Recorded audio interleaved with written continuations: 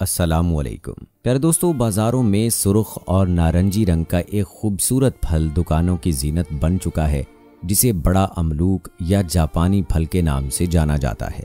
याद रहे कि अमलूक एक ऐसा फल है, जो बिल्कुल टमाटरों की तरह नज़र आता है।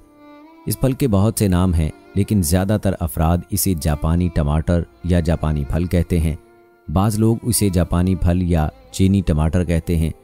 अलबत्ता उर्दू में इसका नाम अमलूक ही है। आजकल इस फल का मौसम है और ये फल बाज़ार में वाफर मकदार में पाया जाता है। इस फल का जायका थोड़ा तुर्श होता है, जिसकी वजह से बहुत से लोग इसे पसंद नहीं करते।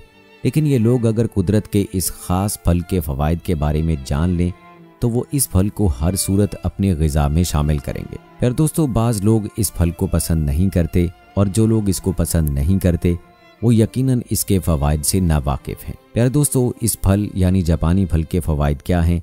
आज की इस वीडियो में आपको बताएँगे, और जापानी फल किन किन सूरतों में आपको नुकसान दे सकता है, ये भी आपको बताएँगे। लिहाजा हमारे साथ वीडियो के आखिर तक जुड़े रहिएगा। वीडियो में आगे बढ़ने से पहले आप सबसे गुजारिश है कि अगर आपने अभी तक हमारा चैनल सब्सक्राइब नहीं किया तो अभी कर लें। साथ में बेल आइकॉन को प्रेस कर दें। ताकि आने वाली तमाम वीडियोस का नोटिफिकेशन आपको वक्त पर मिलता रहे। वीडियो को लाइक करें, शेयर करें अपने दोस्तों के साथ और नीचे दिए गए कमेंट बॉक्स में अपनी राय का इजहार लाजमी कीजिए। प्यारे दोस्तों, आपको बताते चलें कि जापानी फल के नाम से पुकारे जाने वाले इस फल की इब्तदा चीन से हुई। जैसा कि एक तहकीक के मुताबिक इस फल की इब्तदाई काश्त चीन में हुई और यही लजीज और खुश जायका फल हज़ारों बरस से इंसानों के इस्तेमाल में है। प्यारे दोस्तों अमलूक की सैकड़ों किस्में हैं, जिनमें से चंद एक ही मशहूर हैं। दिल की शक्ल का ये फल फ़ायदा मंद समझा जाता है, जबकि इसमें नबाताती केमिकल्स की कसरत होती है। इसलिए इसे कच्चा खाना मुश्किल होता है, क्योंकि इसका जायका कसीला होता है और अच्छी तरह पक जाने के बाद ही इसे खाया जाता है।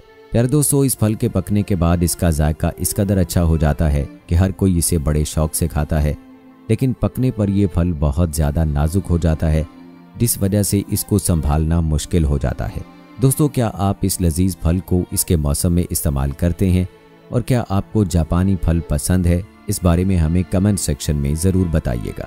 तो दोस्तों, जहाँ तक बात है अमलूक में मौजूद गज़ाई अज्जा की तो माहरीन के मुताबिक एक सौ अड़सठ ग्राम वजनी अमलूक में 118 calories 31 gram carbohydrates 1 gram protein सिफर इशारिया तीन ग्राम चिकनाई 6 ग्राम फाइबर विटामिन ए योमिया मकदार का 55 फ़ीसद, विटामिन सी 22 फ़ीसद, विटामिन ई 6 फ़ीसद, vitamin K 5 फ़ीसद, vitamin B six आठ फ़ीसद, पोटाशियम आठ फ़ीसद, कॉपर नौ फ़ीसद, और मैग्नीज योमिया मकदार का 30 फ़ीसद होता है।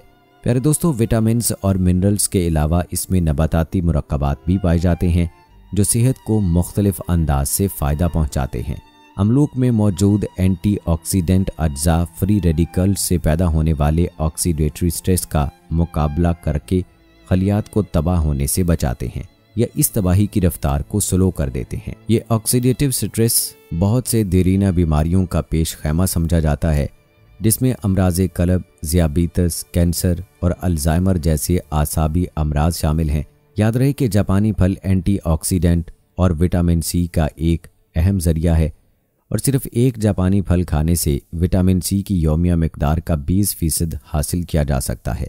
विटामिन सी फ्री रेडिकल से पहुँचने वाले नुकसान से खलियात को महफूज रखता है और इस तरह यह जिसम में सोजिश के खिलाफ मुकाबला करता है, जिसमें अगर ख़राब एल डी एल कोलेस्ट्रोल ज़्यादा हो जाए तो इससे दिल की बीमारी फालज और दिल के दौरा पड़ने का ख़तरा बढ़ जाता है।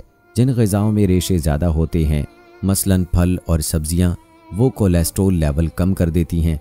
प्यार दोस्तों, माहरीन का ये भी कहना है कि जापानी फल में चूँकि ताकतवर एंटीऑक्सीडेंट अज्जा वाफर मकदार में पाए जाते हैं, इसलिए इसको खाने से दिल की बीमारियाँ, उम्र से मुतलक जहनी दबाव और फेफड़ों के सरतान का खतरा कम हो जाता है। जो लोग अपने दिल को मज़बूत और सेहतमंद रखना चाहते हैं, उन्हें ये फल ज़रूर खाना चाहिए, क्योंकि इसमें भरपूर एंटीऑक्सीडेंट्स पाए जाते हैं और मुतद तहकीक से ये मालूम हो चुका है कि ऐसे गज़ाई अज्जा से भरपूर फल खाने से दिल की बीमारियों का ख़तरा कम हो जाता है। ऐसे फल खाने से ब्लड प्रेशर भी दुरुस्त रहता है और बुरे कोलेस्ट्रोल की सतह कम हो जाती है, बल्कि सोजिश में भी कमी आती है।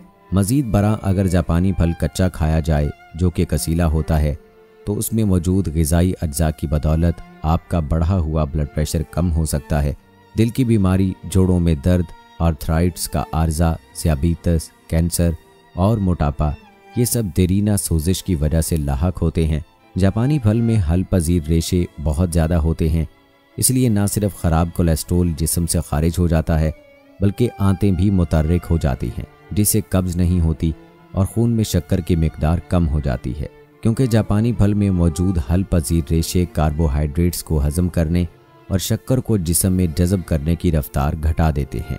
याद रहे, गज़ाई रेशों का एक और फ़ायदा ये होता है कि इससे बड़ी आंत में मौजूद सेहत के लिए मुफीद जरसूमों की सेहत अच्छी रहती है, जिससे आपके निज़ाम इन्हज़ाम और मजमू सेहत पर अच्छा असर पड़ता है।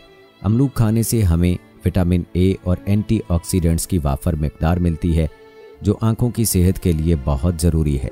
इस फल में ऐसे एंटीऑक्सीडेंट्स मौजूद होते हैं, जो अरसा दराज तक बसीरत को बेहतर रखते हैं। इन गज़ाई अज्जा से आँखों के मुख्तलिफ़ अमराज से हिफाजत होती है और जिनमें उम्र से मुतलक मालिक्यूलर डी जनरेशन भी शामिल है, जो आँखों के पर्दे को मुतासर करती है, जिससे बीनाई कमज़ोर हो जाती है।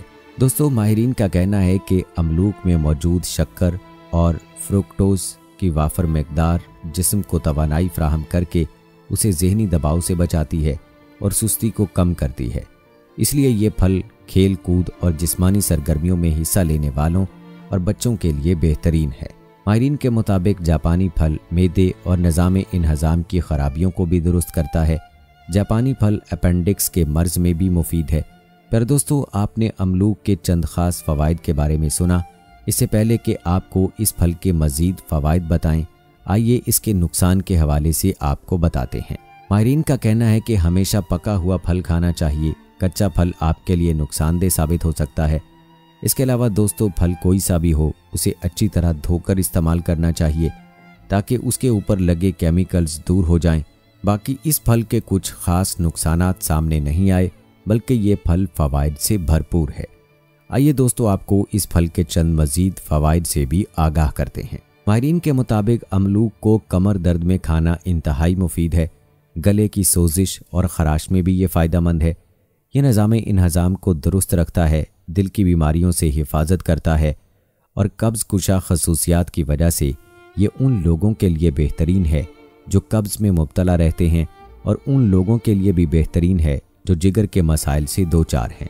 ये फल पेशाब आवर होने की वजह से पानी की कमी की शिकायत को दूर करता है और पेशाब की मकदार को बढ़ाता है, जिसमें पोटाशियम की मौजूदगी पेशाब के ज़रिए अहम मादनियात को ज़ाय नहीं होने देती।